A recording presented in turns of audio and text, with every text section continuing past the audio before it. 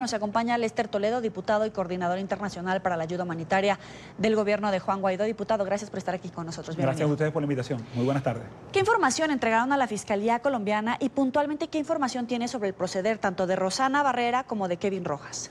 Sobre, en nuestro caso, yo soy el coordinador internacional para la ayuda humanitaria. Es importante destacar eso. ¿Por qué surge la ayuda humanitaria? Porque hay una crisis humanitaria compleja que generó Nicolás Maduro y que está acabando con la vida de los venezolanos. 18.7 millones de venezolanos que no tienen acceso a la salud han generado esta crisis. Y digo esto, pues son dos procesos totalmente distintos. El proceso de la ayuda humanitaria y un proyecto que es el que está en tela de juicio, donde dos ciudadanos están siendo presuntamente vinculados con hechos de corrupción con el pago de una factura de un hotel. Entonces aquí lo importante es separar esto, dos procesos totalmente distintos. La comida y medicina, que está el mundo entero, delegaciones, gobiernos, ONGs, trabajando para que entre a Venezuela desde hace meses, y un hecho puntual bochornoso y lamentable como califica el embajador, que tiene que ver con estas facturas de estos hoteles. Yo me reuní esta mañana con el embajador y juntos revisamos toda la información y lo que tengo es lo mismo que el informado. Un informe con presuntas irregularidades que el presidente Juan Guaidó, de manera seria y responsable, ha hecho lo que es inédito en Venezuela, al menos los últimos 20 años, que es que hay una investigación y él salga, sobre todo vinculando gente de su propia acera política, y es alguien diga un ente imparcial en un país donde sí funciona el Estado de Derecho y la separación de poderes como Colombia, que investiguen cuál es nuestra posición. Bueno, nosotros somos incorruptibles, que se haga una investigación con la Fiscalía, con todos los deberes, y si allí, con esas pruebas que hay, se determina la responsabilidad de estos señores o de quien sea como responsable, cárcel para los corruptos. Ahí no hay medias tintas. En nuestro caso, seguimos trabajando con los aliados, seguimos enviando ayuda humanitaria, seguimos haciendo un esfuerzo por salvar vidas y no tiene absolutamente nada que ver, repito, el proceso de ayuda humanitaria con este proceso de atención de militares. Claro, pero aprovechando que estabas con el embajador, el embajador decía que esta información la habían recibido desde hace aproximadamente dos meses, dos meses y medio, y que ya habían empezado a procesarla y como dices, es inédito, pero ustedes mismos llevan esta denuncia ante la Fiscalía Colombiana para que investigue. ¿Qué bases en realidad tiene el Pan Am Post para hacer estos señalamientos por gastos indebidos, eh, por desviación de recursos? ¿Ustedes encontraron algo algo que de verdad pueda comprometer el, proceder de estas dos personas? en mi caso particular, como coordinador de la ayuda humanitaria, me enteré por el escándalo público del periódico. No tenían acceso a ningún informe. ¿El embajador no, les había confirmado a ustedes? Lo que pasa es que son dos áreas distintas. Él estaba trabajando de forma sigilosa una auditoría, le informó al presidente Guaidó de esta auditoría, pero repito, no tenían que informarme a mí porque no tengo nada que ver con militares ni con hoteles. Yo trabajo en Estados Unidos de la mano del embajador Carlos Vecchio haciendo mega jornadas humanitarias con la diáspora para que la ayuda llegue. Claro. Coordinamos el proceso el 23 de febrero y aquí hay que recordar que hay una comida, hay unas medicinas, hay unos insumos que siguen represados porque Nicolás Maduro bloqueó el acceso a la ayuda humanitaria porque hay un gobierno miserable usurpando el poder en Venezuela que prefiere que la gente se muera. ¿Qué información tengo? La que nos dijo el embajador. Le llegó una información, abrió una investigación hace un par de meses y el informe conclusivo de esta investigación le llegó el sábado. Bueno, el viernes salió este artículo. ¿Qué tengo que decir sobre el artículo? Primero, que yo respeto mucho el periodismo. Aquí lo peor que podemos hacer es no revisar la información, sino acusar al denunciante. Yo estoy de acuerdo con eso. Pero con mucho respeto le tengo que decir a la señora Bendaño que sus fuentes están erradas.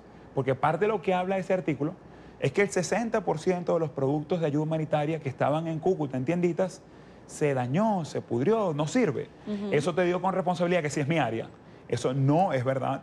Yo lo cité públicamente a que vayamos pasado mañana y le doy una, entrevista en exclusiva, en vivo para Venezuela y el mundo, desde ese galpón, para que desde el lugar de los acontecimientos podamos chequear el estado de la carga. Ese negó a asistir, me dijo que me quiere dar la entrevista, pero acá en Bogotá. Le dije, hagámosla en vivo para que la gente la pueda ver. Me dijo, no, la hago por escrito. Entonces, bueno, igual vamos a asistir porque el que no la ve no la teme. Pero ese dato en concreto de la ayuda humanitaria está errado. Lo demás, yo no soy juez, te repito, Aquí tienen que pagar los culpables.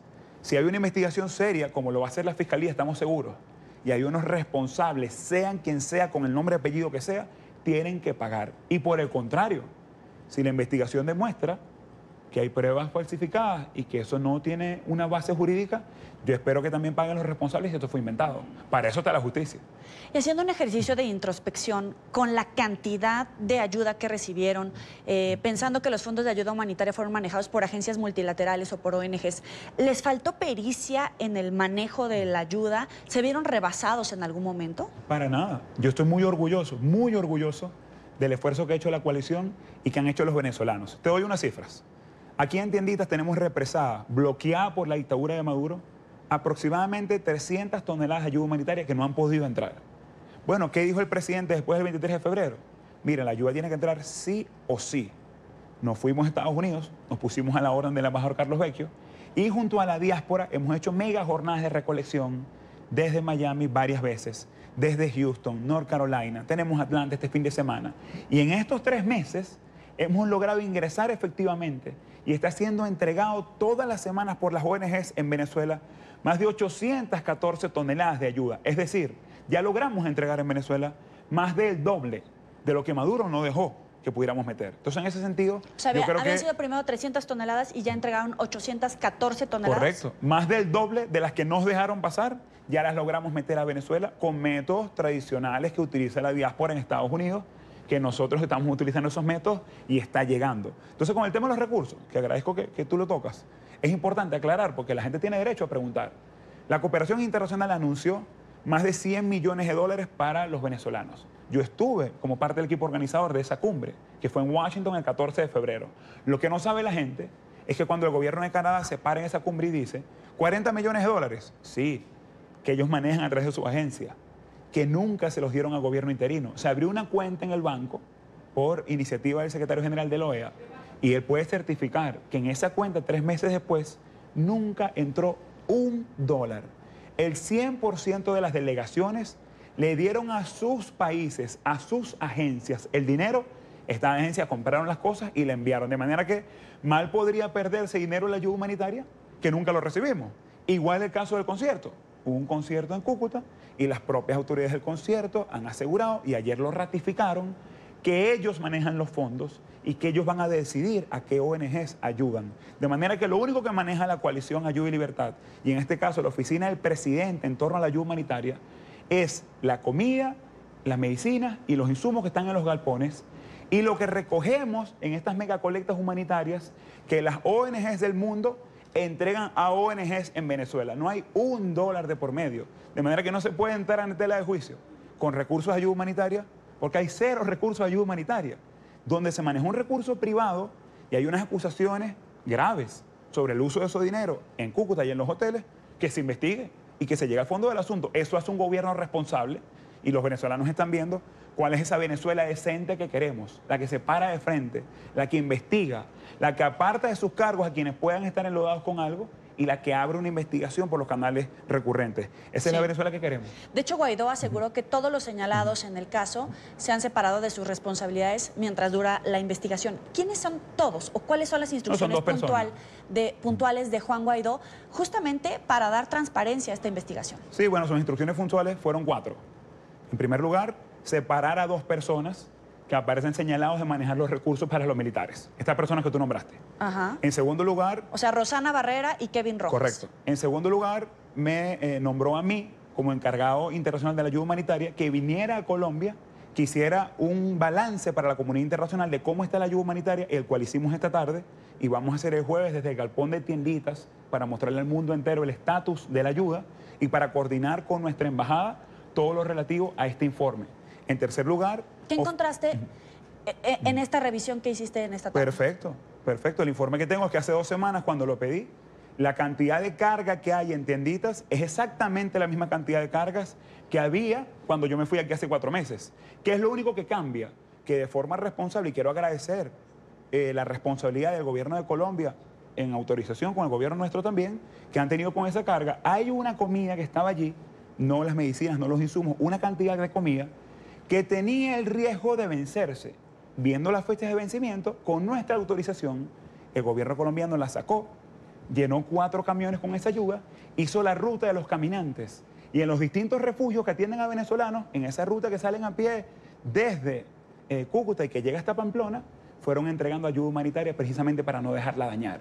Entonces, regalaron parte de la ayuda humanitaria para preservarla. A el- venezolanos. a venezolanos. Y el resto está en el galpón, que desde allá vamos a hacer un balance el día jueves con total transparencia. Entonces, este 60% de, eh, de ayuda humanitaria que reportaba el medio que se había dañado no existe. Es totalmente falso, lo digo con responsabilidad y reitero a través de este medio que ve tanta gente, a ese periodista que escribe eso, vamos al galpón usted y yo cuando quiera y en vivo, mostrémosle al mundo cómo está la ayuda.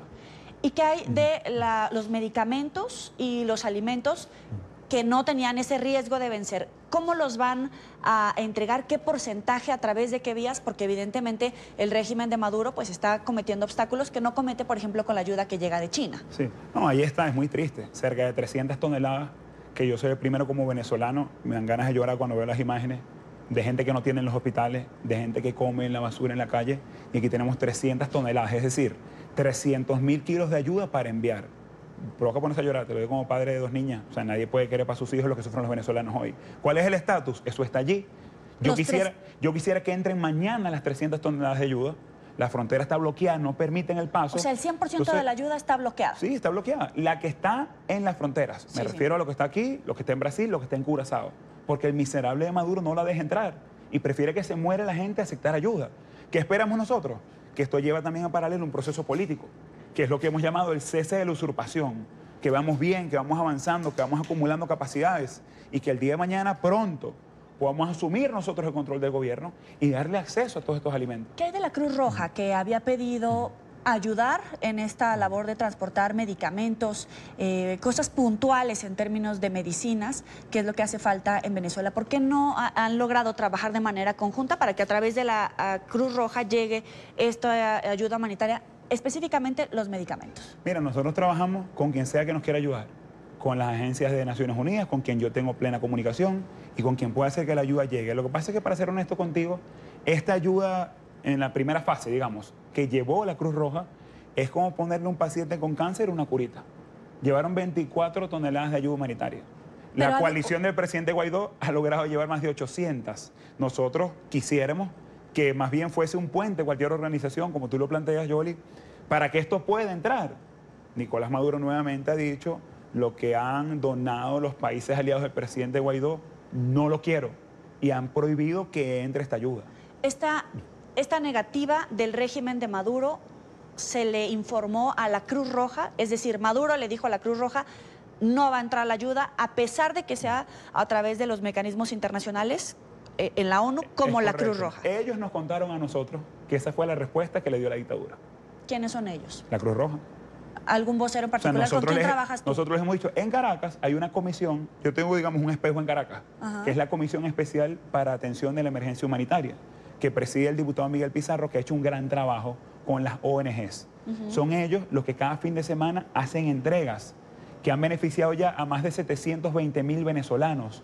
Por eso yo tengo tanto interés y el presidente en divorciar estos procesos, porque lo que no vamos a permitir, claro que queremos transparencia, y mano dura y cero impunidad, claro que sí, pero lo que no vamos a permitir es que por un cuento de unas facturas en un hotel pretendan manchar una gran iniciativa y esfuerzo de miles de venezolanos en el país.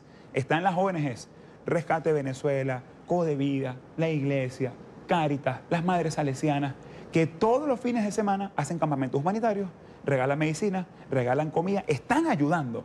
Esa comisión que dirige el diputado Miguel Pizarro se reúne en Venezuela con representantes de la Cruz Roja, con representantes de la ONU, con representantes de las agencias para exponerle nuestro drama.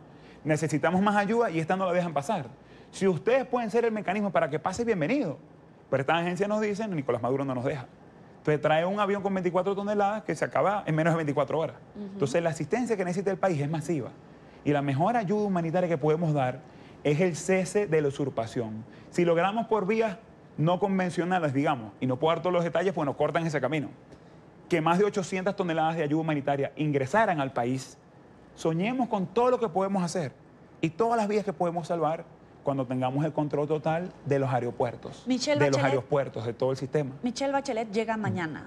¿Han intentado trabajar de manera coordinada con ella para que facilite eh, la entrada de la ayuda humanitaria? Sí, claro, sí, claro.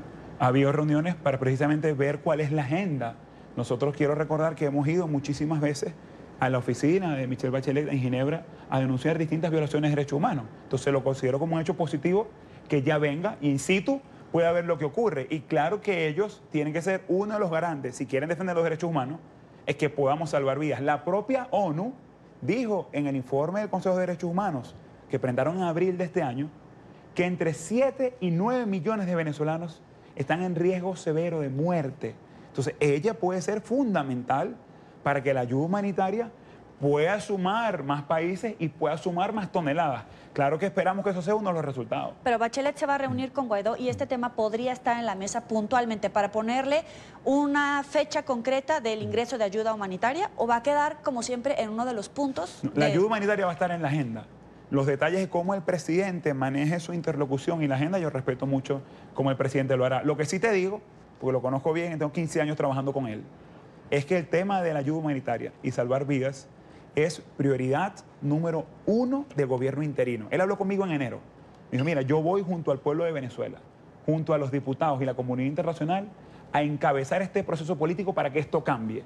Pero en el camino, en simultáneo, hay que salvar vidas y nosotros no vamos a parar. Yo presenté el informe que el presidente me pidió, estoy aquí contigo, el jueves vamos al galpón de tienditas, vamos a dar la cara, aclarar lo que haya que aclarar y a seguir trabajando. Este mismo fin de semana tenemos una mega colecta gigantesca para la diáspora en Atlanta, Georgia, Estados Unidos. Dentro de una semana tenemos en nuestra embajada en Washington con el embajador Carlos Vecchio. Y vamos a seguir enviando ayuda porque la crisis no para. Lester, aprovechando que estás aquí, te tomo la palabra, te vamos a poner una cámara para que el jueves veamos esta eh, revisión que van a hacer en tienditas y pues eh, poderles proporcionar toda esta información de esta noticia en desarrollo. Lester Toledo, gracias por estar aquí con nosotros.